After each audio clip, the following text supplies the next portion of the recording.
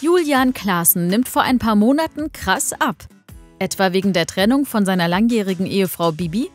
Das beliebte YouTuber-Paar gibt im Mai nach rund 13 Ehejahren und zwei Kindern seine Trennung bekannt. Jetzt offenbart der Influencer, dass er im selben Zeitraum eine große körperliche Veränderung durchmacht.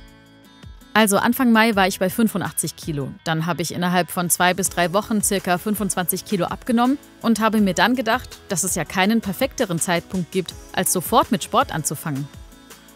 Julians toughes Sportprogramm zahlt sich inzwischen aus. Jetzt, vier Monate später, wiege ich wieder ca. 15 Kilo mehr und fühle mich so viel wohler in meinem Körper. Und dass sich der Zweifachpapa jetzt in seiner Haut wieder pudelwohl fühlt, ist wohl am wichtigsten.